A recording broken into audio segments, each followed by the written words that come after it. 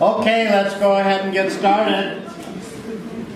Today I'm excited because I get to teach you about Newton's second law, which is the most useful of all the laws of classical physics. Now on Friday we'll talk about Newton's third law, which is the most beautiful, the most elegant, and the least understood, I think, of all of the laws in classical physics. So don't miss Friday. Uh, we're ready to do some homework, or we will be by the end of today. Um, in chapter 5, problems 11, 13, and 16, before the end of the lecture, I'll work a problem that's similar to problem 11, by which I mean the same. Um, let's take some uh, attendance here really quick, since we don't have homework to turn in.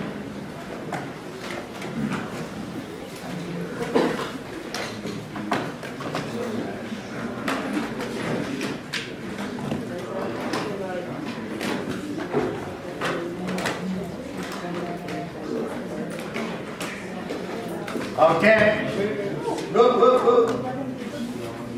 Now? Okay. Last day we talked about our palette, if you will, of forces that we're going to use on all of the problems we deal with in the next three weeks. We have two non-contact forces, gravitational and magnetic, uh, these are forces that can act over a distance. It doesn't have to be contact. The gravitational force is the first force you put on any free body diagram. Point straight down. We'll talk more about it later today. Then we ask ourselves, are there any magnets in the problem? Usually not, sometimes. But once you cover those two forces, all other forces have to be due to things that touch your object. So you just make a list of what touches my object. For each thing on that list, you ask, does it push or does it pull? If it's a chain or a thread or a string or a rope, it pulls. And for each one of those that touch your object, you get exactly one tension force. One. If it's not a string, it's not a thread, it's not a chain, it's not a rope, it pushes. And whenever one thing pushes on another, there will always be a normal force, by which we mean a perpendicular force. Not an ordinary force, but a perpendicular force. Whenever one thing pushes on another, there will always be a normal force. There may also be a friction force. So for each of those things that are pushing, you get at least one force, at most two forces. And so you can follow that recipe and be sure that you get the, the correct free body diagram. Now, we talked about Newton's first law, which said that no net force gives me no acceleration, and no acceleration just means constant velocity. Now, the purpose of Newton's first law is to set the stage for the second law. Um, if you're sitting in, a, in an airplane on the runway, just sitting there. And you take the tray down and take a, a rubber ball and put it on that tray. If the tray is level, the ball's just going to stay there, which is what you'd expect.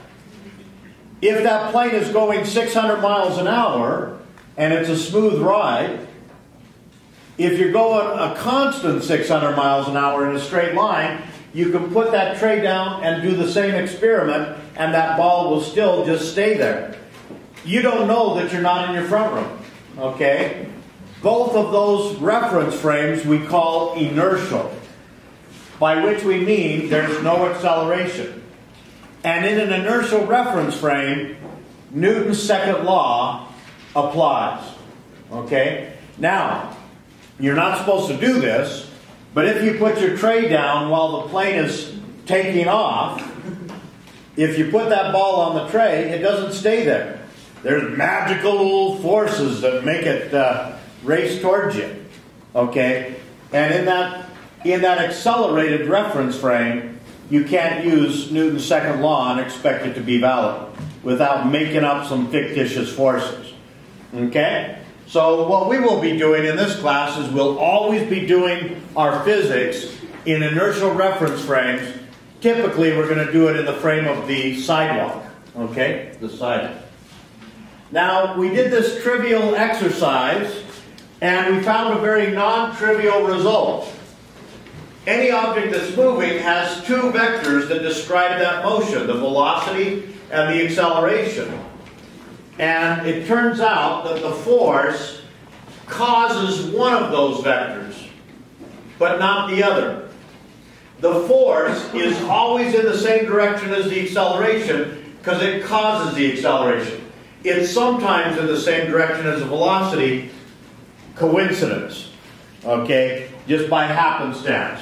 But there are other times when it's not in the same direction as the velocity. Now, Newton's second law is that a net force causes acceleration. And by net force, we mean the vector sum of all the real forces. The example we took was a piece of dry ice that was uh, accelerating down an inclined ramp made out of slate. We draw a free body diagram for that ice. The first force we put on any diagram is the weight force by the earth on the block. We then ask, are there any magnets in this problem? No. What touches the block, the ramp? Does it push or does it pull? It's not a string, it's not a thread, it's not a rope, it's not a chain, so it pushes.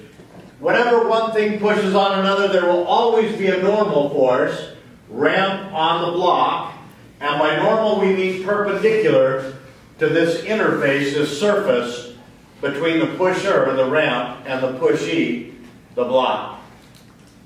Now, the important point is it's not that force that causes the acceleration. It's not that force that causes the acceleration. It's the vector sum of all the forces. I've got to take the forces and add them as vectors. There's the plus sign. And the grand total we call the net force. Because that net force causes the acceleration, the acceleration has to be in the same direction, which in this case is down the ramp. Now I'm going to illustrate that with a little demo here. I have three jars of water, a piece of masonite, and uh, I've also got some some high-tech tubes. We spared no expense. This is your tuition money. And we've got some raw eggs. We're going to put the raw eggs on top of those tubes.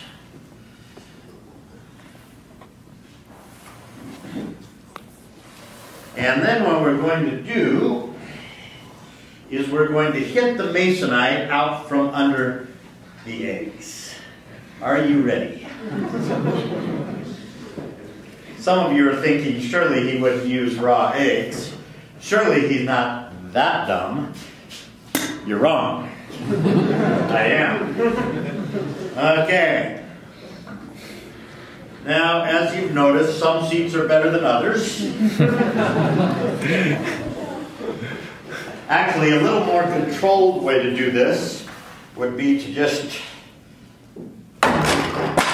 Okay, now, let's talk about what just happened. when the broom handle hit this piece of masonite, it had a net force that way.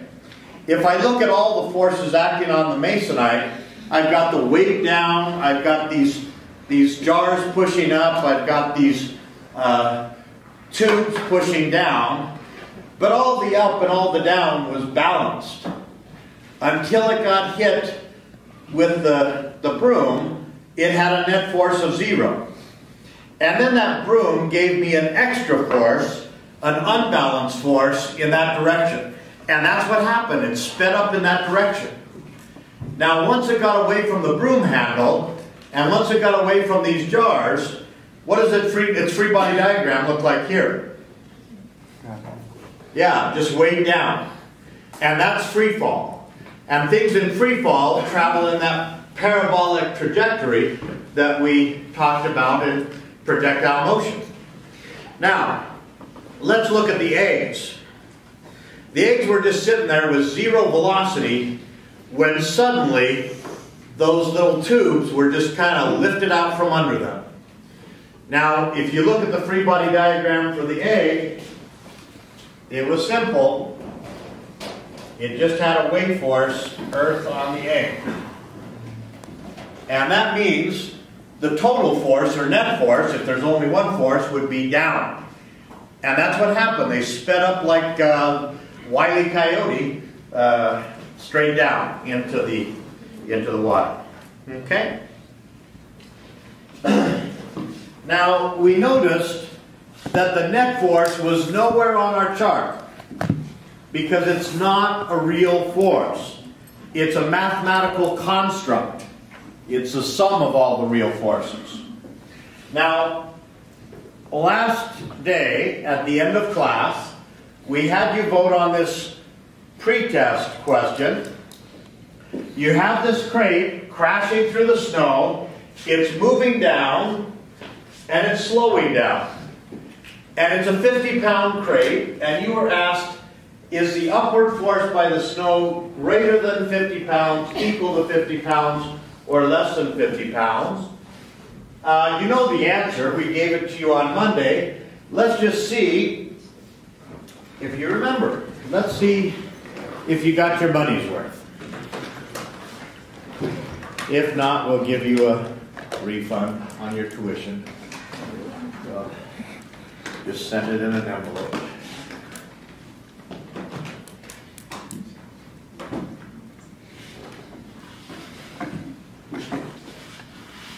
Okay. Good. Good. We remember. And I hope we believe, okay, because this is what makes you Newtonian. People who are Newtonian have connected the force with the acceleration.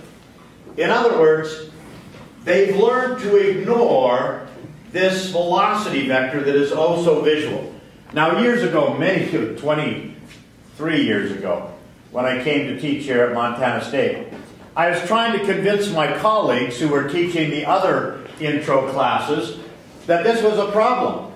That many beginning students uh, misunderstand that force is, is causing acceleration instead of velocity. One of my colleagues said, Oh, my students don't have that problem. My students are the calculus based students. My students had high school physics. They're fine. So I kept on hammering on him, hammering on him, and finally he relented and he gave this pretest. And he was just astounded at how many students got it wrong. But what really convinced him, what really convinced him, is his best student ended up in his office just bitten mad. But it's still going down. so what? That's what you have to ignore. So what? That's not important. The important thing is it's slowing down. And that acceleration vector is what is caused by this force diagram. This diagram has to scream that acceleration. If that's up, this has to scream up. And today's lecture is all about that scream. How loud is that scream? That's the question that's answered by Newton's second law. Newton's second law. Now, to understand that, we first of all have to understand a concept called mass. How many of you have dealt with this in an earlier class, like the fourth grade? Okay. Um, what did they tell you mass was? What's mass? Anyone? Brave soul? The downward force on an object by gravity. The downward force by gravity? That is not what I think of when I think of mass. What do they teach you typically? The amount of matter. The amount of matter that something has. How much stuff something has. And uh, that's pretty much the definition that you get in most classes. Now I'm going to need some help from you three. Thank you very much for volunteering. Come on down. Um,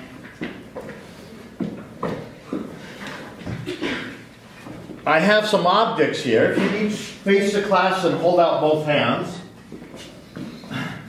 Your name, sir, again? Barrett. Barrett. Uh, okay, one of each. And Jackie. Jackie? Court. Court. Courtney. Okay. Now, I've given each of these individuals two objects, and I'm going to give them exactly 20 seconds to figure out which of these two objects has a greater mass. They can do anything they want to figure that out. Da da da da da da da da da da da da da da da Okay, we're out of time. Okay, Barrett. This one here, okay? Which one? This one, it feels heavier. Okay, it feels heavier. They're equal. Okay, let's give them a hand, folks. Okay.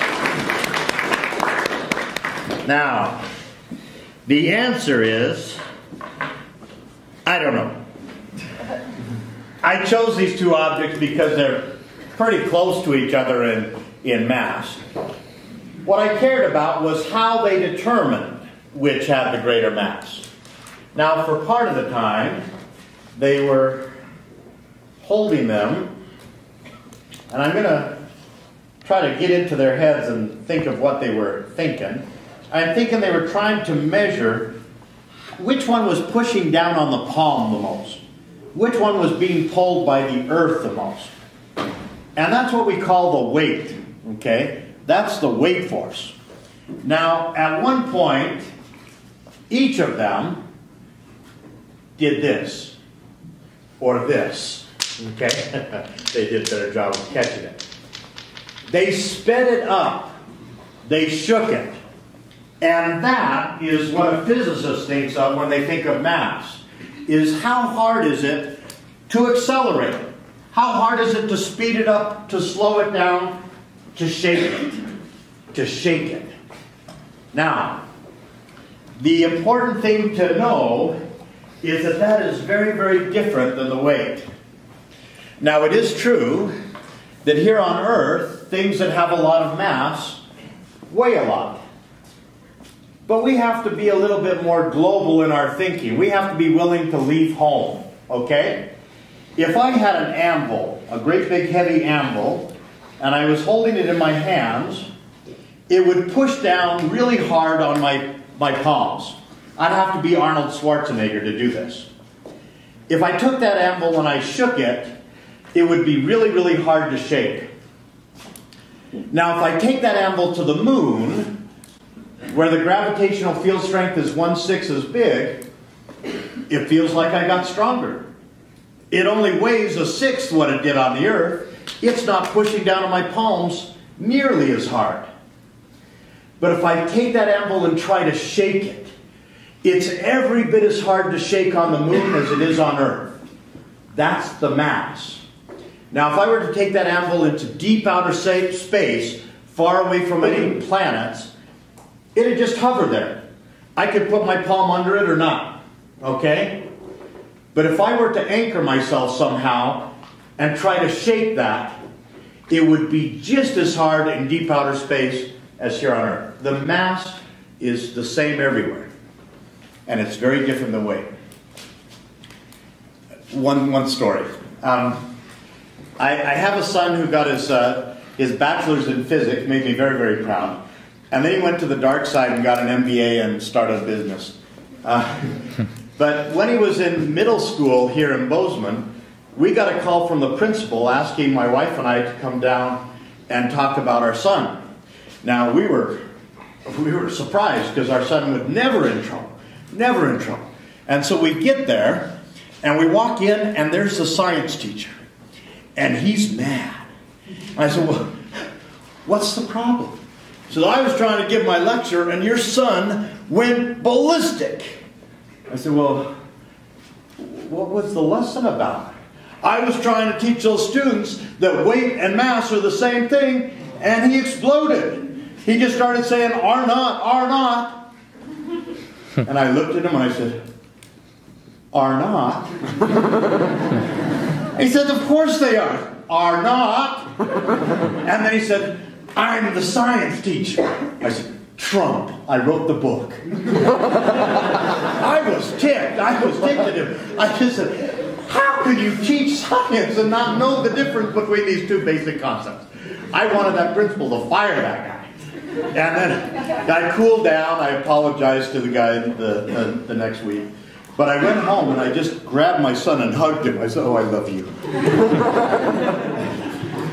okay. So we're going to demonstrate this idea of mass with a demo that I call the hammer of death. Your name, sir? Brandon. Brandon, come help me out here. I need you to sit right here on this uh, stool. And uh, what I've got here is the hammer of death and a, uh, a nail and a board. And what we're going to do, face the class there so you can see the pain. We're going to nail this hammer, or this nail into the board. Now, Brandon, I'm fully insured. So I'm going to sit on that, and you're going to be up here swinging the hammer. So be careful getting up. Just stand up here. You'll be fine. Are You sure? No? Give it a try. Worst that can happen, what? A little break. Yeah. Now, what we're going to do is I'm going to sit here and I'm going to put this book here, and uh, Brandon's going to hammer in that nail. Go ahead, Brandon. Try to be careful and not fall down.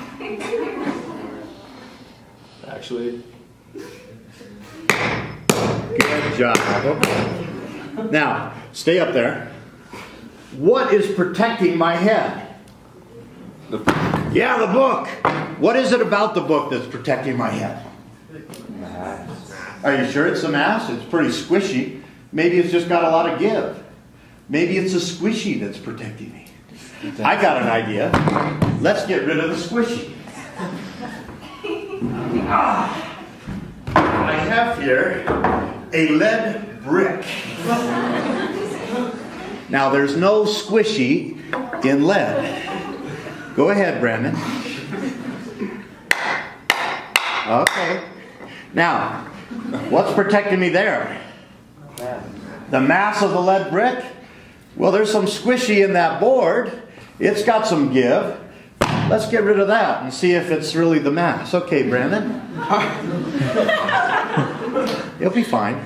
Okay. Okay. Keep going. Okay. Thank you. Okay, let's give him a hand, folks. Now, we got uh, we got rid of all the squishy except for this right here, uh, and uh, clearly the only thing that was protecting me was the mass of this lead brick. Because it's so massive, it doesn't like to speed up or slow down. To hurt me, it's got to speed up into my head. And it didn't want to. And that made all the difference. Now, I'm going to do a demo here that I find more terrifying than the hammer of death. I call it the picnic of death.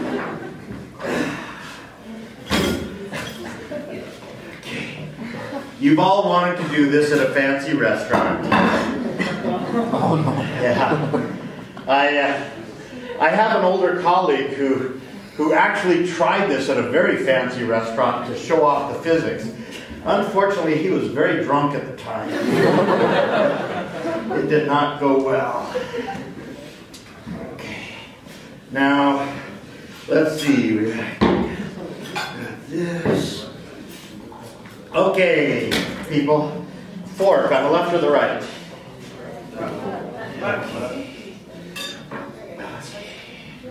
So, uh, let's see. Oh, oh, okay. Um, we need some line.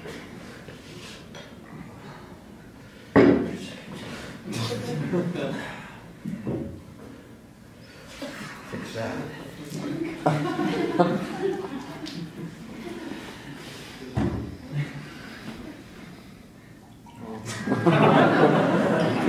Not bad for a Mormon boy.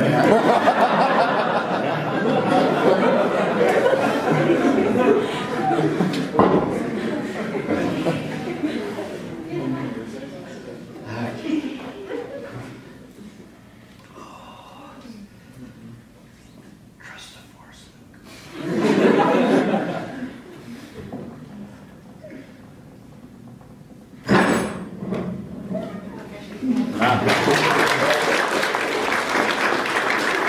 Okay. Now we're going to do that again. We would do that the way a student would do that.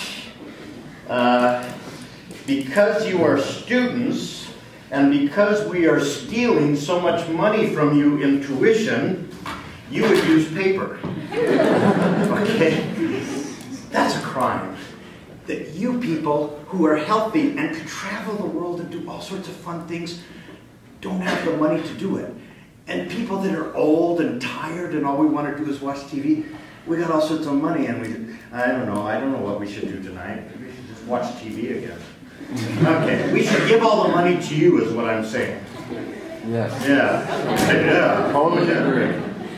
Okay, now it turns out when you're using plastic, it doesn't matter what side you put it on. Okay, we'll put some of these things on here. Put these things on there. Now, I'm going to do this experiment again. And uh, what I'd like you to do is predict, tell your neighbor what's going to happen when I do this again. Are you ready? Am I ready? Okay. The things with a lot of mass didn't want to speed up, so they stayed. The things that had very little mass, it was easy to speed them up, and so they took off, they accelerated off the table. Okay. Now, let's use what we learned about mass. During the summers, I teach uh, courses for high school teachers. They come from all over the country, and we've had people come in from other countries. And during those classes, we make them build the physics from the ground up in a very careful way. And we do uh, some detailed experiments. One of the experiments we do, uh, two of them actually, is about Newton's second law. What they do is they take a mass and they exert a force on it. Now, because teachers have very uh, low budgets, they don't have much money to spend, we teach them how to make force, uh, uh, force probes that have, um, it's just a meter stick with a long rubber band on it. And the stretch of the rubber band is proportional to the force. We find that that object accelerates. Then they take that same object and they exert twice the force on it. They find that the object accelerates by a greater amount. When they do careful measurements, they find out that the acceleration is twice as greater, if that's grammatical. Okay? So what they find is that acceleration fish net force. it's proportional. If you double that, you double that. Okay? Now the next experiment they do, they start with the original, the mass being pulled by the force. They find the acceleration. And this time, instead of doubling the force, they double the mass, the amount of stuff. And what they find is that the acceleration gets smaller. Indeed, with careful measurements, they find that it gets half as big as it was before. So that tells us that the acceleration is inversely proportional to the mass. Now, if we take those two experiments that I wish we had time to do with you, but we do not, you'll just have to take my word for it. If we put those experiments together, we get this relationship. The acceleration is directly proportional to the net force, and inversely proportional to the mass. Anytime I have a proportionality, I can replace that with an equal sign, provided that I include a constant. That proportionality symbol doesn't mean that the right is equal to the left. It just means that if I double the right, I double the left. So I have to put a constant of proportionality in there. Now, that constant, the size of that constant depends on which units I'm using. I've already defined my units for acceleration. That's meters per second for each second.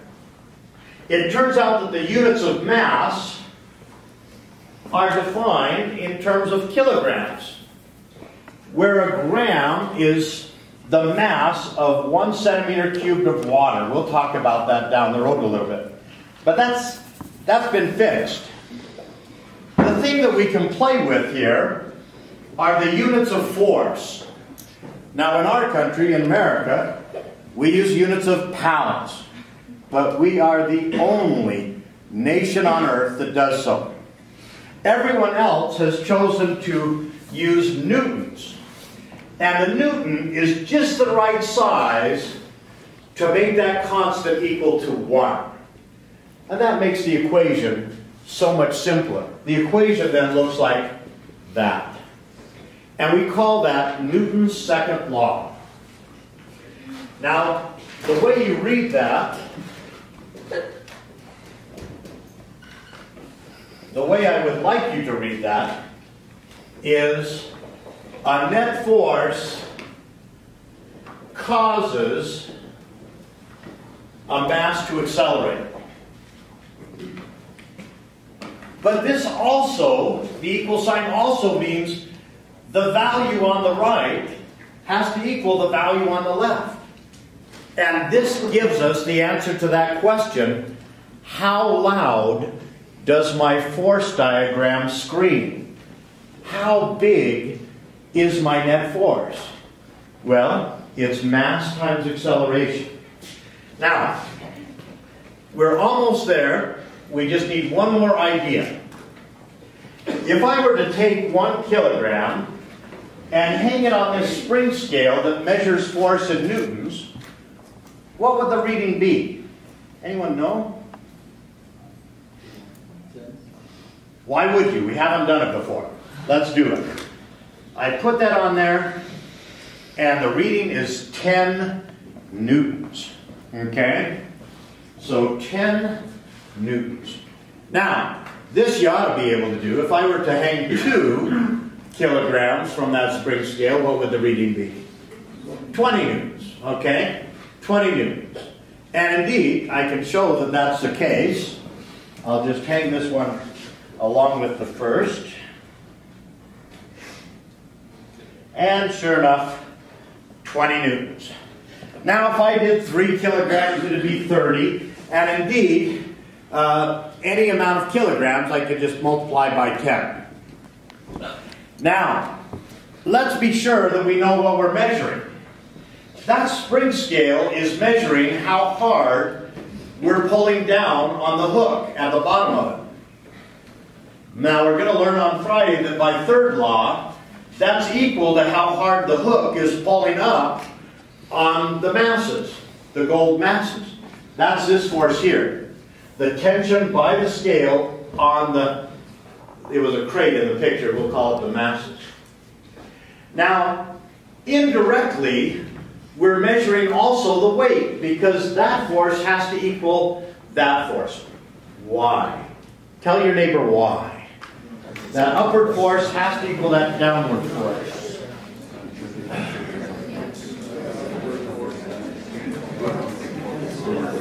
Okay.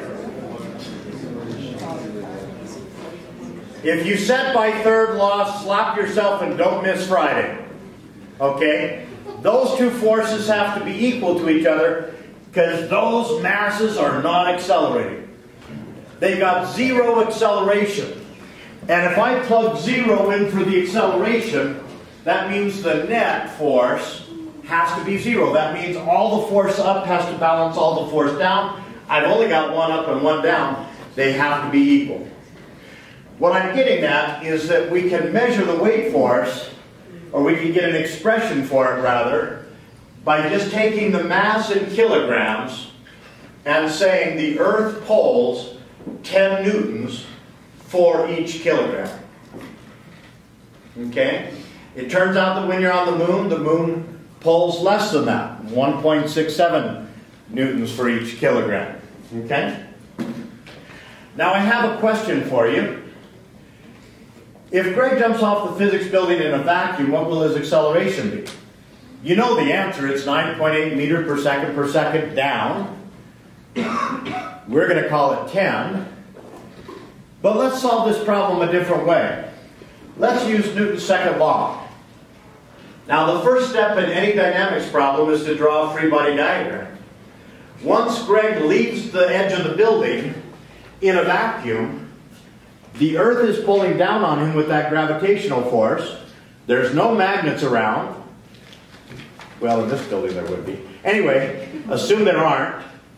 Then the, there's nothing touching me. So that's my free body diagram. Now, folks, when I use Newton's second law, the net force is the vector sum of all the forces on my diagram. If I've only got one, that is my net force. It's like saying, what's your net worth if you've only got one bank account? That's your net worth, okay? So I can plug that in, and we just learned that the weight was equal to the mass times this number, 10 newtons for each kilogram. So I'm going to replace the weight with that. And folks, here's the magic. The mass cancels out. So it doesn't matter whether you throw Greg off the top of the physics building or whether you throw a grand piano off the top of the physics building, it's going to have an acceleration of, well, it says 10 there, but that's only because I was using a pretty rough scale. If we had a very, very sensitive scale there, this reading, when I had one kilogram on it, would be 9.81 newtons for each kilogram. Okay? It turns out that this value, 10 newtons for each kilogram, is just G. Now, sometimes we call it the gravitational acceleration. Sometimes we call it the gravitational field strength. When we're, when we're worried about how hard the Earth is pulling on something, we call it the gravitational field strength, and we say the weight is just m times g. Now let me show you that the units work out just fine.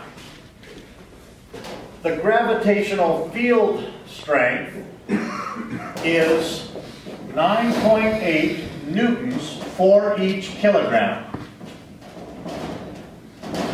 But a newton is the force required to take one kilogram and accelerate it by one meter per second squared. And if I divide that by kilograms, I get 9.8 meters per second per second. Now, like I said, when we're worried about how hard the Earth is pulling down on something, we use this notation here, how hard it pulls on each kilogram. When we're looking at the motion of something that's been dropped, we write it this way, and we call it the gravitational acceleration. Check that your neighbor's on the bus, people.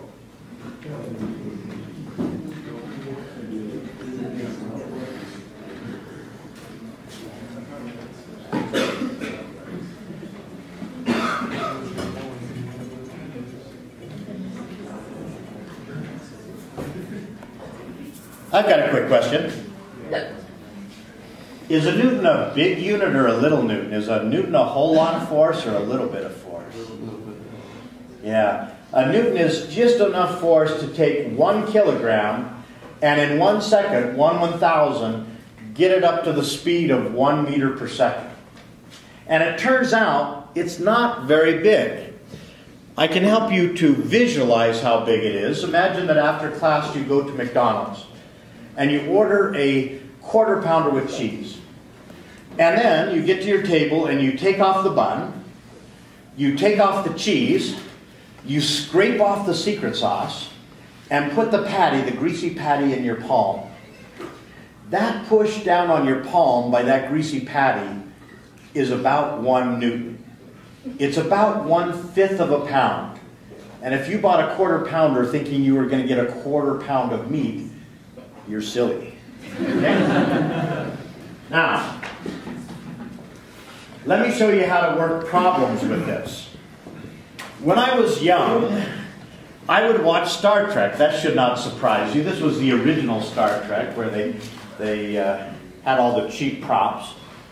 It amazed me that they would go throughout the universe to all these different cultures and everybody spoke English. You know, it just it seemed too much of a coincidence. And I was ready to give up on the program until someone explained to me that they had a universal translator built right into their little medallion there. And then it was fine. Then I just, oh, okay, well, that makes sense. the second law is the translator between kinematics and dynamics. It's the connection between the motion, and by that I mean the acceleration, and the forces, the free body diagram. Let me show you how that works. If I have a 5 kilogram mass being pulled by a rope with a tension force of 100 newtons, and I find that the acceleration that results is 4 meters per second every second, and I ask you, how big is the friction force? Well, in this case, I'm giving you the acceleration, the kinematics, and I'm asking you about the forces. The first step, folks, I gotta tell you, I got good news. I have students all the time coming into my office. I don't know where to start on this problem. And a lot of times that's a valid, valid thing to say. But not with a dynamics problem, not with a force problem. Never come into my office and say, I don't know how to start this problem. Every single force problem starts exactly the same way. What? Free body diagram. Free body diagram. Okay? So let's draw a free body diagram. The first force I put on any diagram is the weight force, straight down, earth on the block. Now this is a 5 kilogram block. The earth pulls on every kilogram 10 newtons worth. How many newtons is that pulling down on that block? 50. 50 newtons. 10 per each. Okay? Then I ask myself, follow the recipe, ask myself, are there any magnets in this problem? No, not yet. Greg will get to it. So what touches the block? Well, the rope, and it pulls. So I get one force, period. The only thing other than the rope that's touching the block is the floor. It's not a rope, it's not a thread, it's not a chain. It pushes. Whenever one thing pushes on another, I always have a normal force. I may also have a friction force. In this case, I'm looking for how big that is, so I assume it's there. Now, just like the first step of every force problem is always the same, so is the next step. Every time you finish a free body diagram, you get to use Newton's second law twice. Once in the y direction, once in the x direction. Well, let's do it first in the y direction. That's the acceleration. How much of that vector is in the y direction, the up and down direction? None of it. And so if I come over here and do this in the y direction,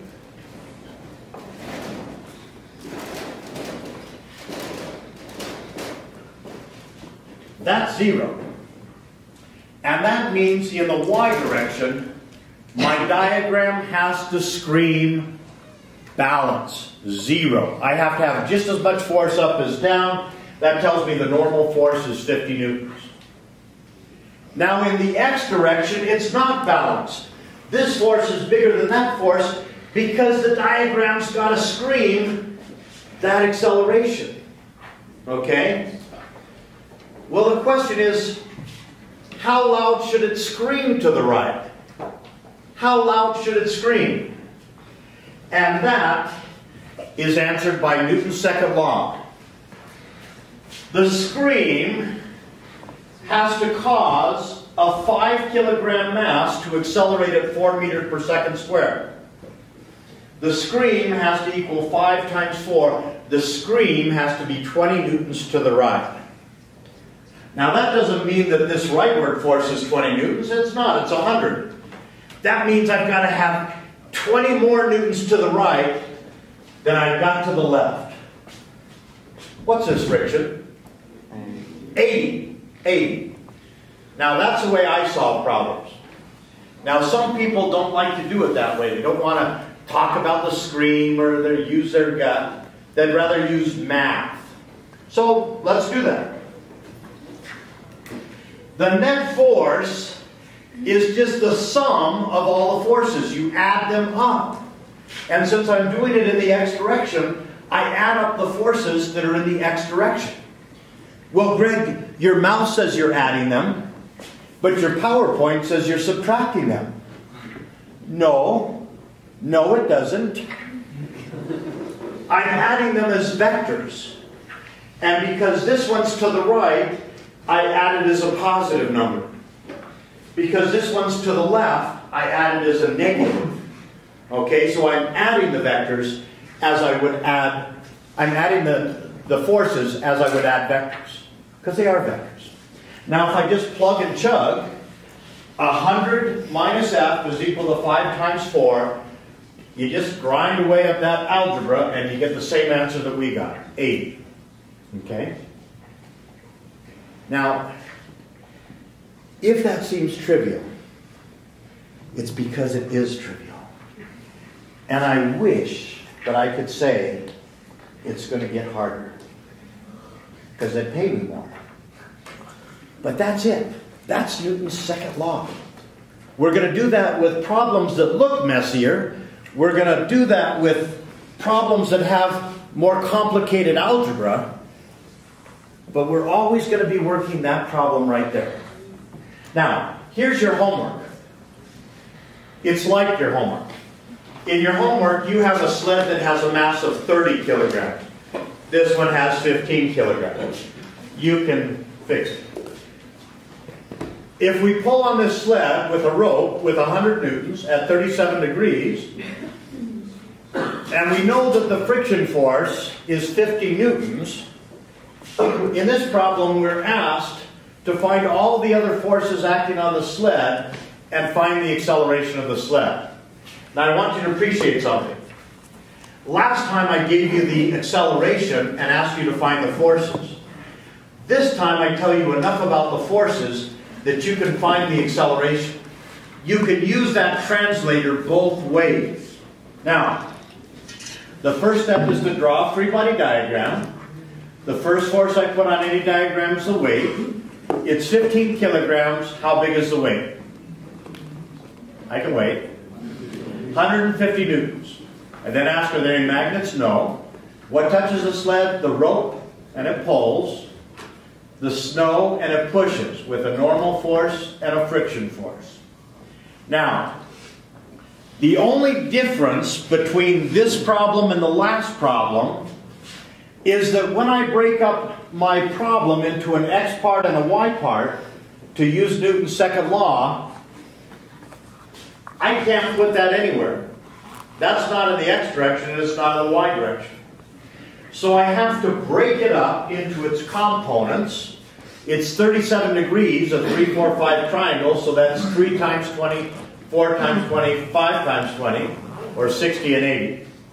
Now folks, once you break up a force into its components, throw away the original. Use the components. Now, that's the first step. The second step is I get to use Newton's second law twice. In the y direction, I have no acceleration. It's speeding up to the right, so the y part of the acceleration is zero. That means in the vertical direction, this diagram has to scream balance. How big is this normal force? And do not say 150. 90. I've got two forces up, I got one force down. These two forces up have to balance the 150 down. That one's 60, this one has to be 90. Now, in the x direction, I have 80 newtons to the right. I have 50 newtons to the left. What's the net force? What's the screen? 30 to the right. I got 30 more to the right than I've got to the left. If I use Newton's second law, 30 is equal to 15 times A. A's got to be 2. Or if I just plug and chug, I get 2 meters per second per second. Now, your problem is going to be slightly different than that, but the idea is the same. We've run out of time. Don't miss Friday. It's the best.